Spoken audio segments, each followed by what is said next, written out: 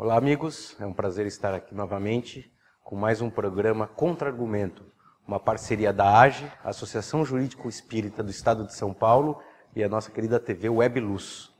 Como o próprio nome diz, Contra-Argumento, não se trata de um programa de entrevista ou de simples doutrina. É um espaço onde trazemos um assunto jurídico e espírita para você em casa refletir. Trazemos pontos pós, pontos contra, argumentos sobre o que está sendo debatido e você em casa, dentro da sua evolução espiritual, dentro da sua visão de mundo, chegue a uma conclusão. Que, como sabemos, no mundo de hoje de tanta polêmica, conclusões sobre assuntos são muito importantes, mas desde que ela é refletida, pensada e bem lógica. Hoje eu tenho o prazer aqui de receber o Dr. João Demétrio Loríquio. Tudo bem, doutor João? Tudo bem, doutor Marcelo. Obrigado pelo convite. Minhas saudações a todos os telespectadores e também a AGE e a Ebiluz. Ah, obrigado. Então, Agradeço sua presença aqui, seu tempo. Doutor João, ele é delegado do Estado de São Paulo, aposentado, pós-graduado em criminologia, membro da União, do, da União dos Delegados Espíritas do Estado de São Paulo, conselheiro das Casas André Luiz, palestrante, escritor e articulista espírita, não é isso? Exatamente. Estamos aí trabalhando dentro da doutrina espírita para trazer os esclarecimentos eh, na área jurídica à luz da doutrina espírita. Não, bacana, muito boas obras, hum. as palestras do, do, do Dr. João recomendamos. E hoje vamos conversar com o Dr. João sobre um dos livros que ele escreveu, chamado Criminologia e a Genética Espiritual. Né? É, você poderia contar para a gente, doutor João, um breve resumo do que se trata essa sua obra? Muito bem. Bom, é, essa obra é, veio dentro do, do, do, do, do percurso de, do, do, meu trabalho na área jurídica como delegado. Né? Aí eu fiz uma, uma, uma pós-graduação sobre criminologia e quando eu apresentei meu trabalho final, a monografia, os próprios professores do curso pediram que eu deveria editar é, essa ideia nova que, tá, que eu estava trazendo através da minha monografia que é a genética espiritual. Eles acharam muito oportuno, no momento de hoje, que a doutrina espírita tanto está crescendo, está trazendo a reencarnação, né? nós somos aqui no, no, Brasil uma nação reencarnacionista do Ocidente, pode-se falar assim, e, e, e, a tese dessa minha genética espiritual é justamente aquela que o, o, o espírito reencarnante é, é, traz ah, no seu próprio corpo perispiritual, que reflete no corpo físico, ah, uma genética preparada nas camas reencarnatórias, e trazendo assim a tendência ou a predisposição que ele teve nas vidas passadas na área do crime. E, e essa, essa predisposição, ou essa tendência, que Jesus chamava de, de, de, de tentação, a tentação, coisa que nós temos dentro de nós que tenta a gente, é, ela pode se desenvolver ou não nesse novo espírito reencarnante. Muitos falam, bom, mas você está trazendo aí que o, a tese de César Lombroso como criminoso nato. Não. Em parte pode sim, mas não total. Porque isso depende do quê? Desse espírito que vai reencarnar com essas tendências do passado, depende do quê? Depende da família, depende da, da, educação que recebe, da moralidade que é dada dentro de casa, dos estudos, da religião, então depende de muita coisa para esse espírito reencarnante que tem essas tendências de vida passada, que a maioria tem, que nós somos no mundo inferior, vivenciamos muitas guerras, fomos guerreiros, tantas coisas, então trazemos sempre algumas coisas. Mas se pegar essas famílias equilibradas, é nesse percurso que nós chamamos de educação, é, infanto-juvenil, é, é, o momento que, quando a, a, a, o espírito reencarnante está recebendo nessa fase é, biológica, é, essa educação, na realidade, junto, está recebendo energias do bem, da moral, da educação, como nós falamos, que elas ficam é, é, implementadas na, na parte periférica do perispírito e que vai ser um escudo de defesa para se reequilibrar esse espírito. Agora, ele chegando já no fim da adolescência, passando para a maioridade, e se, seguindo é, esses ensinos que teve, ele mesmo vai se equilibrar. Então, um espírito pode se dizer, como a igreja diz que veio do, do inferno ou dos umbrais, como nós falamos, numa só reencarnação ele pode se reequilibrar e desencarnar equilibrado, não com luz total, mas reequilibrado para continuar voltando aqui na Terra. Muito interessante, né? Hum. O senhor falou, né? É, parece um, é uma, um pouco da, da antiga tese lombrosiana, mas Sim. há muita crítica no nosso mundo jurídico contemporâneo quanto às, às as teorias lombrosianas, até no modo de vista espírita, né, eu já vi isso dizendo, se uma pessoa já nasce com essa, é, com essa pecha de criminoso, primeiro você já teria um pré-julgamento antes de qualquer coisa, né, dizendo a pessoa já nasce criminosa, né, é, né, ela já estaria condenada muito menos antes de cometer um crime. E também iria até contra o livre-arbítrio, né? Porque a pessoa sempre vai ter a, a, né, a opção de determinado ato, de ir para um lado ou ir para o outro, né? Sim. E assim, ao, ao a gente mencionar, ah, mas ela nasce com um gene criminoso, não seria muito forte? Não seria uma forma de já estigmatizar essa pessoa? De... É, não, de forma geral, vendo assim, é, onde subiu muito as críticas, é nessa visão nessa visão. Mas nós espíritas sabemos que, o que, nós fomos no passado vai refletir na vida de hoje. Nossa vida atual é reflexo da vida passada, não tem dúvida nenhuma. Isso, isso aí não existe dentro da doutrina dúvida isso aí. Agora, se vai desenvolver para esse lado das tendências passadas ou não, isso vai depender do livre-arbítrio nosso, como você falou. Até então. Agora, se ele desencarna outra vez nos mesmos erros que teve no passado, aí vem a lei de ação e reação que vai bloquear aquele lado para ele não desenvolver mais, para não voltar mais naquele crime que ele praticou, entendeu? Mas até então é o nosso livre-arbítrio que pode resolver. Agora, a, a, a, o, caso é, é sabido que você, no passado, praticou um crime, você tem o, o, o reflexo no teu perispírito daquilo que você praticou. Isso não, não, não, resta dúvida dentro da doutrina. Agora, se vai, na próxima ah, reencarnação, evoluir ou desmanchar esse mal, isso vai depender da pessoa mesmo na sua caminhada. Como eu falei, depender da família, dos estudos, né? dos conhecimentos que ele vai tendo.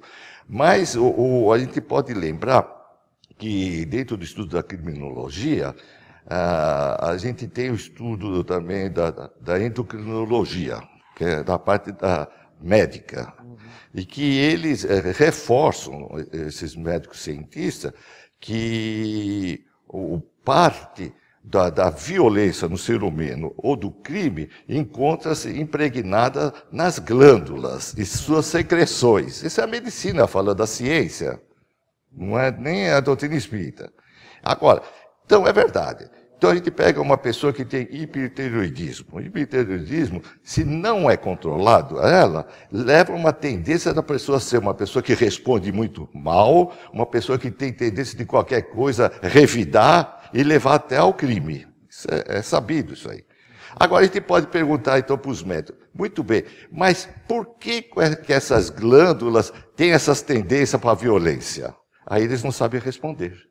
Não sabe responder. É onde, entra a minha tese da genética espiritual. Isso é, ele traz no seu perispírito, tem de vista o que ele fez na vida passada na área da violência. Que pode, aqui, desenvolver ou não. A gente sabe que um, um mau funcionamento de uma tiroide, como estamos dando exemplo, é só tomar um comprimido por dia, vai controlar. Ele não vai ser violento. A mesma coisa, você falou de César Lombroso, nós lembramos que César Lombroso ele estudou 800 criminosos é, e loucos, todos juntos, misturados. Ele, ele estudou dentro dos presídios, manicômio, tudo ele estudou. E naquela época dele, era considerado aquele que tinha epilepsia como um criminoso.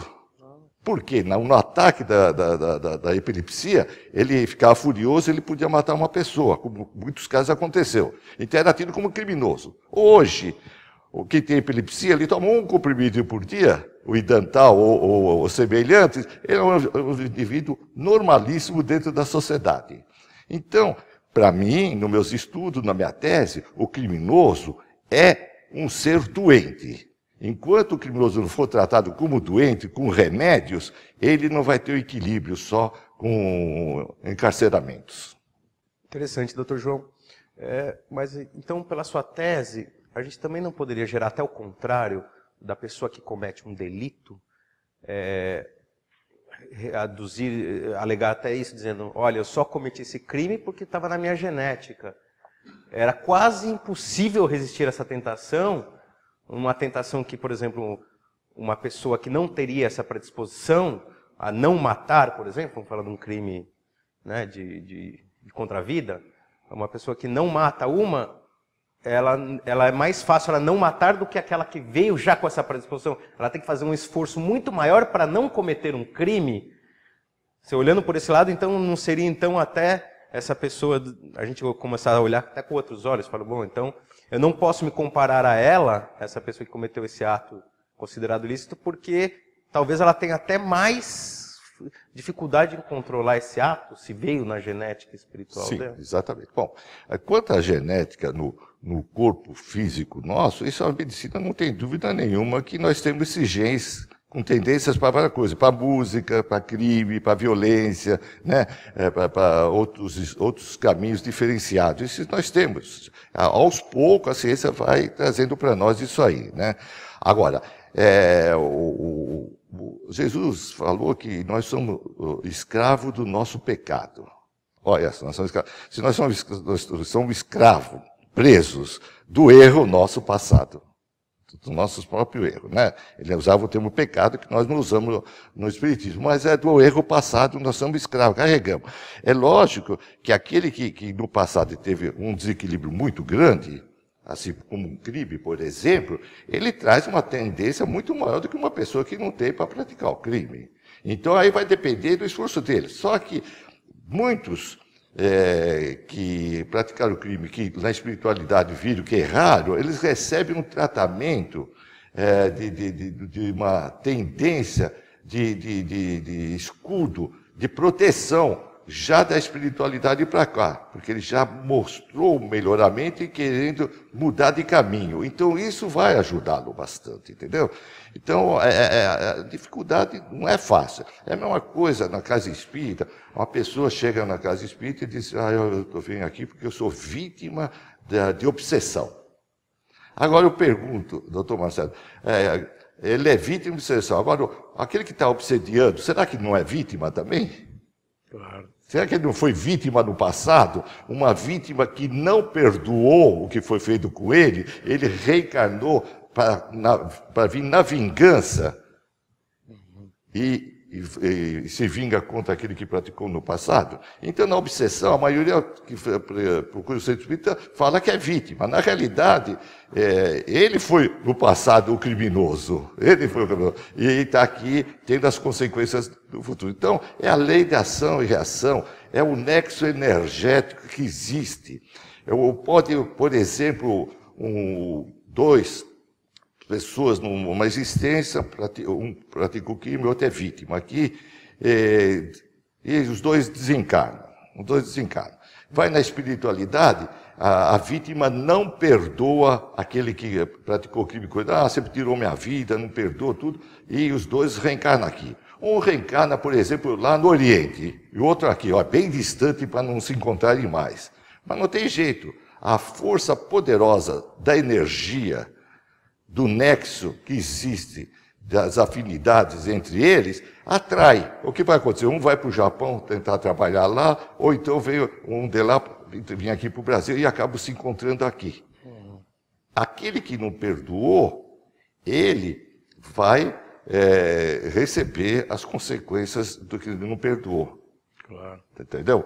Então é assim. Agora, a gente fala, mas se por acaso é, nesse, exemplo, um, a vítima perdoou, perdoou, não tem mais nexo nenhum na espiritualidade, pegou, ele perdoou, pegou o caminho dele evolutivo, e, e você pergunta, mas aquele lá praticou um crime contra aquele, como é que fica na natureza? É, a vítima perdoou, mas ele fez o mal.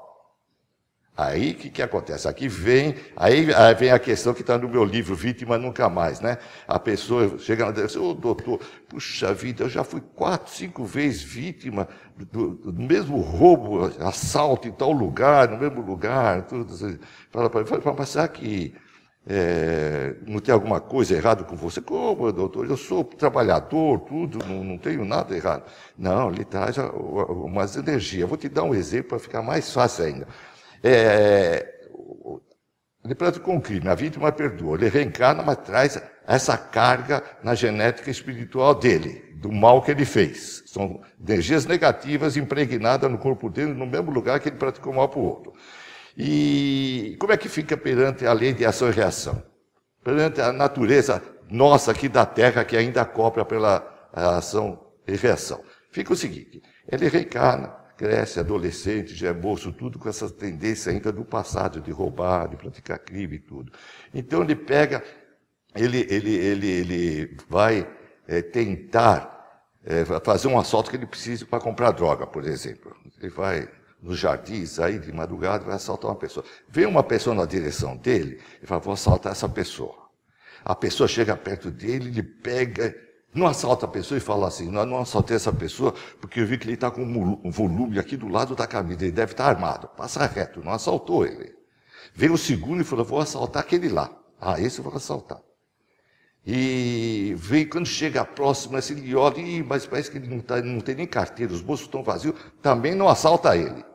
Aí vem a terceira a pessoa, pega, ele assalta essa pessoa e sai bem. Assaltou, roubou, fugiu, a polícia não pegou, saiu bem. Quem é essa terceira pessoa? E quem são esses dois que não foram assaltados? Primeira coisa, o primeiro não foi assaltado, o segundo foi assaltado, não é porque um que estava armado e outro não tinha carteira, que ele achou que veio no pensamento dele naquele instante. Não, é que ele tinha energia de luz, que lhe deu a proteção e que levou medo àquele que ia fazer mal para ele. Agora, o terceiro não. O terceiro é um que tinha afinidade com ele. Na energética e tinha dívidas idênticas. E esse terceiro aí não estava recebendo diretamente da vítima dele do passado, porque a vítima dele passou. Ele recebeu de terceiro aquilo que ele devia receber, que fez numa vida passada. Então é mais ou menos assim. Então existe uma, uma força poderosa energética que atua na, na, nessas ações. E o que equilibra tudo isso aí, nos ajuda a tudo isso aí, é a lei ao contrário, que é a lei moral, que é a mais poderosa de todas, o que o Cristo trouxe para nós e que a maioria não faz uso na prática. Interessante, né? E, e pode até ser um ciclo, né? Porque, como o senhor falou, aquelas duas pessoas que passaram, se por acaso, por um azar, tivessem sido vítimas de um de um ato considerado criminoso, elas até perdoariam a pessoa pela energia e até esse terceiro provavelmente vai querer uma vingança, que hoje se confunde com justiça, é. e vai ficar naquela, naquele ódio, e vai ter ódio de quem também praticou o crime, e aquele outro vai ficar com mais raiva e então, fica, né? Existe, Numa hora quebrar isso. Né? Exatamente. Né? Então, por isso que é, o amor, né? O amor, o perdão, o perdão, tudo isso aí são forças morais que têm um poder muito grande para reequilibrar essas coisas, senão fica aquele círculo vicioso, né? E nós estamos vivenciando um momento é, é, de transição, que nós sabemos aqui na Terra, onde muita doença, muitos crimes, muitas mortes, mortes coletivas, tudo está acontecendo, porque é o momento exato de, de fazer uma limpeza, um saneamento do perispírito para que nós possamos adentrar no mundo de regeneração. É, no Apocalipse diz que eh, João Evangelista que as portas do inferno foram abertas. Então, na realidade, nesses finais de tempos, nós estamos tendo milhões de espíritos reencarnando aqui, esvaziando o umbral, para as energias negativas lá subirem, para nós passar para o mundo de regeneração. Eles estão no nosso meio tentando se reequilibrar. Ou se reequilibra, vão continuar reencarnando aqui. Se não reequilibrarem, eles não vão voltar mais aqui, vão para o planeta primitivo até melhorarem a sua moral e depois voltam outra vez à sua casa planetária, que é a Terra. Obrigado, João. Muito obrigado pelas suas aulas aqui sobre vitimologia, criminologia, né? Agradecemos a sua presença, esperamos contar com o senhor mais vezes. Eu que agradeço. e estou aqui disponível para outras oportunidades também. Tá ok, obrigado. Você em casa, agradecemos a sua audiência, o tempo que você despendeu nos ouvindo, refletindo, pensando, né? Vamos analisar o mundo, vamos pensar em quem não tem más tendências, né? Quem não tem na sua genética alguma coisa que trouxe de outras encarnações, né? Alguns erros que cometemos, que come continuamos a cometer, né? Então, antes de a gente julgar aquele irmão que cometeu um, algum erro, sair bradando, né? Vamos primeiro fazer aqui um olhar íntimo, vamos nos analisar, ver quais são as nossas tendências ruins, porque todos temos, né? Vamos tentar controlá-las na, na, na, medida que for possível. E esse controle se dá como, né? Pela educação, pela reflexão e pela reforma íntima. Agradecemos a vocês e até um próximo programa.